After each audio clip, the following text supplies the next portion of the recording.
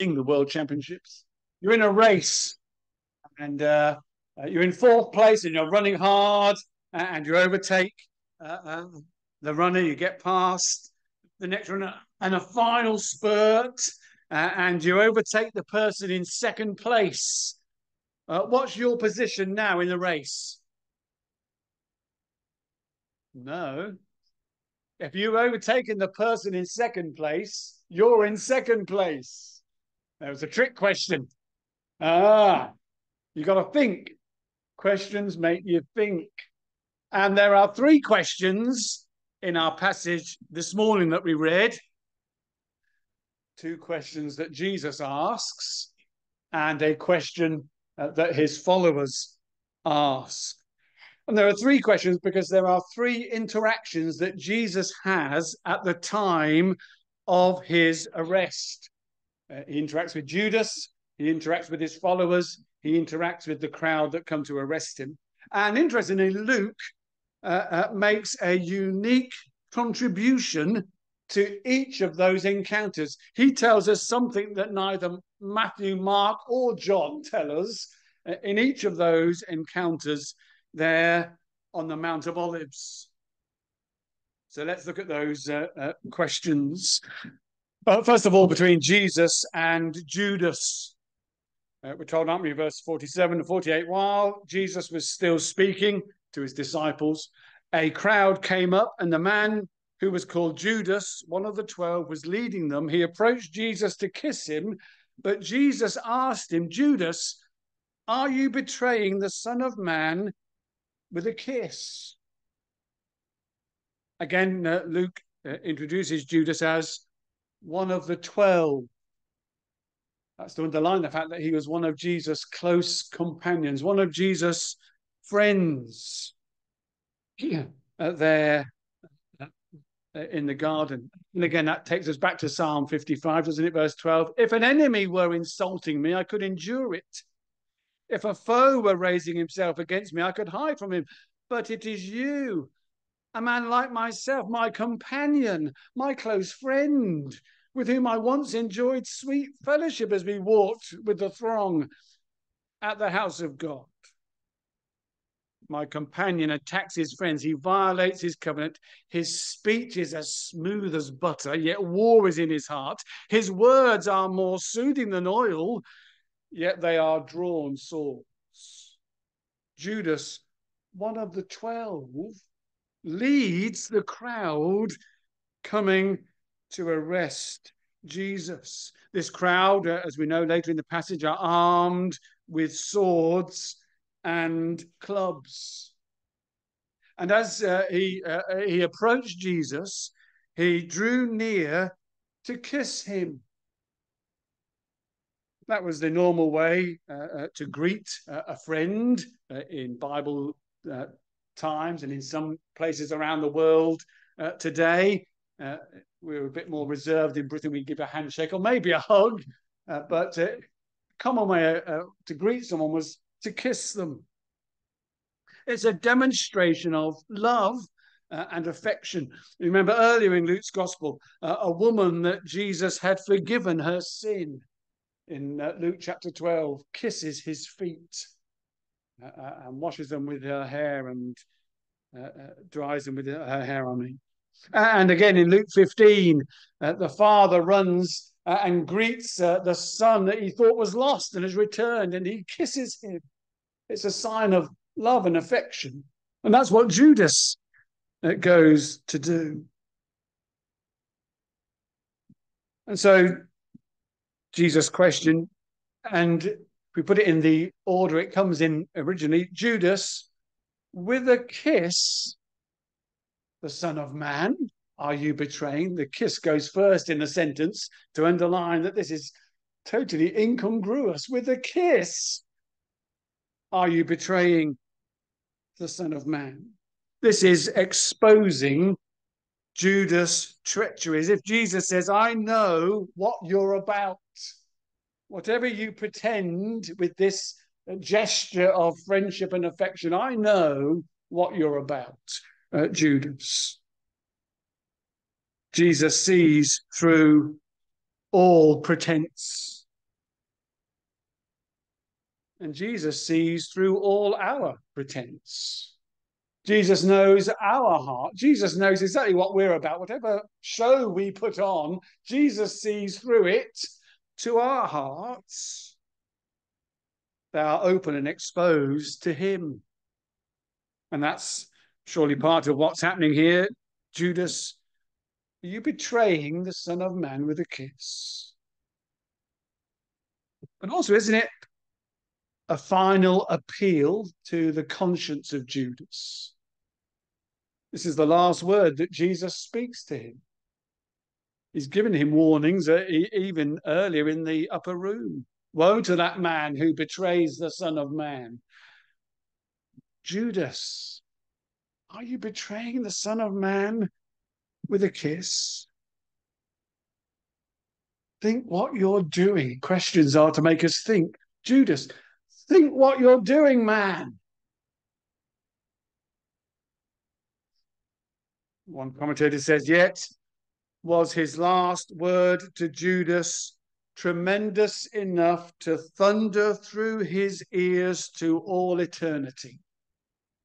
An appeal to his conscience, and Judas subdues it uh, and hardens his conscience and goes ahead with his treacherous betrayal of Jesus. That searching question Judas, are you betraying the Son of Man with a kiss? And a reminder that Jesus searches us and our hearts. He knows exactly what's going on inside, whatever pretense we put on, whatever show we make. Jesus sees through it and sees our hearts. But then we have Jesus uh, interacting with his followers when Jesus' followers saw what was going to happen, they said, Lord, should we strike with our swords? Servant of the high priest cutting off his right ear. It's interesting, they didn't wait for an answer. Do we ever do that? Lord, help me with this, guide me with this. What is your will? But then we go ahead and do what we think is best we ask the Lord a question, we should wait for his answer. Uh, they were a bit headstrong. Uh, they didn't uh, uh wait. Sometimes we can go ahead uh, with our plan after perfunctory prayer, saying the right prayer, but going ahead with what we want to do. And it's interesting, all four Gospels record the infliction of this wound. That's an unusual thing that have all four gospels record the infliction of this wound. It's John who tells us it was Peter who drew his sword and I presume the servant must have swerved. I don't think Peter was that bad a shot. Did he swerve out the way and off goes his? Uh, it's his right ear that's uh, sliced off. This is a misunderstanding of something Jesus said in the upper room. Turn back in Luke uh, 22 uh, and verse 36. uh, Jesus had reminded them of their earlier mission, verse 35. When I sent you without purse, bag, or sandals, did you lack anything? Nothing, they said. He said to them, But now, if you have a purse, take it, and also a bag. And if you don't have a sword, sell your cloak and buy one. It is written, He was numbered with the transgressors. And I tell you that this must be fulfilled in me. Yes, what is written about me is reaching its fulfillment. The disciples said, See, Lord, here are two swords. That is enough, he replied. So Jesus had told them that you'll need to buy a sword now. He's, I think it's a misunderstanding of what Jesus was saying. Jesus was preparing them for the new phase of their mission when he had sent them out previously, Jesus was popular. Uh, people loved Jesus. Crowds went around and, and, they were given Jesus power to heal and deliver. Uh, uh and so uh, they were received, uh, welcomed, uh, and provided for. Well, Jesus said it's going to be different now. I'm not going to be popular. Jesus said, It is written, He was numbered with the transgressors. People are going to think, I'm lawless now. So they're not going to treat you well. uh, you need to be prepared for a new phase uh, in uh, the mission. Uh, things will be different now. Jesus is no longer popular. But I don't think Jesus meant it literally. I think he was just saying, using this manner of speech to say, you need to prepare for a new phase in your mission. Uh, I think they've misunderstood him, and we'll, I'll, I'll, explain why I think they've misunderstood him. Uh, uh, should we strike with our swords? You said about taking swords. We've got to shoot. Whoa, whack. And off comes the ear. Jesus answered. So here's the answer. Jesus answered, No more of this. And he touched the man's ear and healed him. And most of our modern versions translate uh, Jesus' uh, answer in that way, no more of this. Literally, it's a bit more ambiguous. Uh, Jesus says, permit as far as this, or permit until this. And that's a bit ambiguous. What does that mean? Permit until this, permit as far as this. And it's given commentators three answers to that question. What did Jesus mean? Some think it means permit this rash outburst by the disciples and let them go. Permit this rash act that they've performed, let them go. Linking with what happens in John 18, Jesus makes sure that the disciples are released and not uh, uh, taken with him. So permit this rash act, uh, uh let them go. Uh, some think it means permit uh, until this healing of the ear. Don't tie up my hands until I've healed the, the servant. Uh, something that's what it means. But I don't think Jesus is addressing the crowd. Jesus answered the question that the disciples had posed. And Jesus doesn't address the crowd until verse 52. Then Jesus said to the chief priests, the officers of the temple guard, and the elders who had come for him. So Jesus is speaking to the disciples. And in essence, permit until this, permit them to take me. Allow them to take me. Don't resist. Don't fight back. Permit this to happen that ties in, I think, with uh, what uh, Jesus says in uh, Matthew uh, put your sword away. Those who live by the sword will die by the sword. I could call 12 legions of angels. I don't need you wielding your swords. I could have 12 legions of angels to protect me. Let this happen. Permit this to be. And I think the healing, he touched the man's ear and healed him. And it's only Luke who tells us that. Uh, while Matthew, Mark, and John all tell us that the ear was sliced off, only Luke tells us that the ear was healed. That reverses the act of violence. Healing the ear reverses the act of violence on the part of his disciples. It's a repudiation of that act of uh, violence. So I think that's comparable to uh, uh, in Matthew, put your sword away. Those who live by the sword will die by the sword. In uh, John, put your sword away. Uh, I'll drink the cup the Father has given me. This is Jesus' way of repudiating what his followers had done. He heals the man and reverses that act of violence. That's not the way for Jesus' followers to act. I think we can draw contrast with Islam, uh, that uh, was a, a conquering religion at the by the sword. Christianity is not to be like that. It's not a sword. It's not a religion that uh, con- uh, conquers by the sword. It's a religion that conquers by the word, at the word spoken. And so his uh, followers uh, are rebuked uh, and uh, uh, their question is answered by Jesus healing the man. And again, we see something of the grace of the Lord Jesus here is the servant or the slave of the high priest. The slave, and it's only a surface wound, it's only his ear that, that he's lost. It's not life threatening, but Jesus cares for him and heals the wound by his grace and power. Jesus and his followers. And then Jesus uh, and the crowd. Uh, Jesus said to the chief priests, the officers of the temple guard, and the elders who had come for him, Am I leading a rebellion that you have come with swords and clubs? Every day I was with you in the temple courts, and you did not lay a hand on me.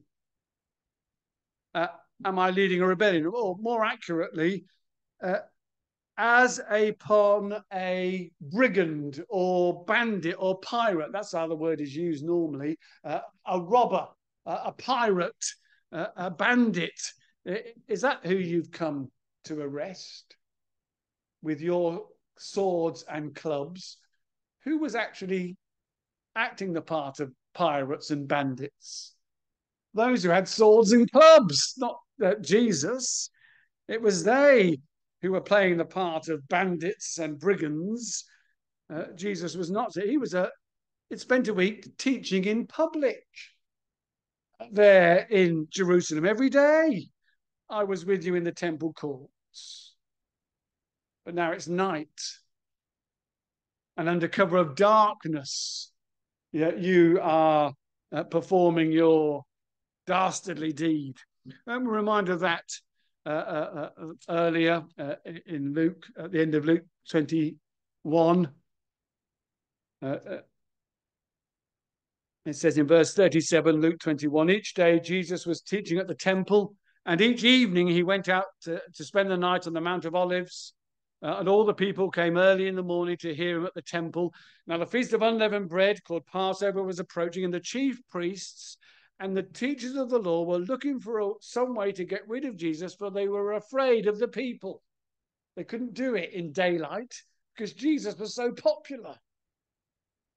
Judas agrees, uh, and we read in Luke 22, verse 6 he consented, Judas, and watched for an opportunity to hand Jesus over to them when no crowd was present. And here's the opportunity. There's no crowd now. The throng is gone. Uh, it's night, uh, and uh, this mob comes to arrest Jesus. Am I a pirate? Again, Jesus says, think about think about what you're doing here. Think about who you've come to arrest with your swords and clubs. The teacher who was allowed there in the temple daily this past week uh, to teach and preach. But, the end of verse 20, 53, but this is your hour when darkness reigns. Again, that's a, a, a phrase unique to Luke in his account. This is your hour when darkness reigns a set and restricted. It's an hour. They've got their moment now.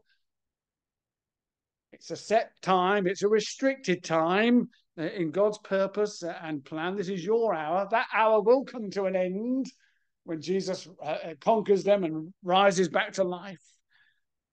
It's your hour when darkness reigns, the authority of darkness, the power of darkness. Yes, Jesus is reflecting on the fact that they're operating in darkness. Uh, they've not done it during the day.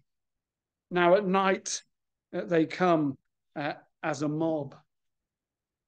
But that's also the darkness of evil power. Remember, Paul, when he's describing his mission in Acts 23, uh, verse 18 says, God has sent me to deliver people from the power of darkness and bring them into light from the power of Satan to God. To deliver people from darkness and bring them into light from the power of Satan to God. And that's the parallel darkness and the power of Satan. Paul, writing in Colossians, says, For uh, he has rescued us from the dominion of darkness and brought us into the kingdom of the Son he loves. He's rescued us from the dominion of darkness. That's the same word that's used uh, there in Luke 22. The dominion of darkness. And uh, again in Ephesians, Paul explains uh, what that means. He says in Ephesians 5, verse 8, For you were once darkness, but now you are light in the Lord. Live as children of light, for the fruit of the light consists in all goodness, righteousness, and truth. And therefore, we can flip that over and think the fruit of darkness is badness, wrongness, and lies. And that's what's going to unfold now uh, in the moment, in the in, in the coming hours for Jesus. Badness, wrongness, and lies. Again, in Ephesians 6, our struggle is not against flesh and blood, but against the rulers, against the authorities, against the powers of this dark world, and against the spiritual forces of evil in heavenly realms. That's who Jesus must now do contest with the spiritual forces of evil in the heavenly realms. And so we have these questions. Judas, are you betraying the Son of Man with a kiss? Lord, should we strike with our swords? Am I leading a rebellion that you have come with swords and clubs? And we notice in each of these encounters the poise of Jesus. When Judas comes, doesn't he doesn't hit out at Judas. He doesn't condemn him. He asks a question Judas, you betraying the Son of Man with a kiss? When the disciples lose it, Jesus doesn't lose it. No more of this. And he heals the man. When the crowd uh, come, really? A bandit. No, but this is your hour when darkness reigns. Jesus doesn't lose it in this crisis moment because, uh, as we read in Psalm 55, but as for me, I trust in you. He could be calm and collected because he knew that God was in control of Judas of his foolish followers, of this mob that are out to get him. Jesus was in control as he gave himself willingly to be treated abominably in the hours ahead. This is our Savior, and he's beautiful uh, as we see him depicted here uh, in Luke 22. We're going to sing of that in our closing hymn. All my days I will sing this song of gladness. Beautiful Savior, uh, our Savior Jesus.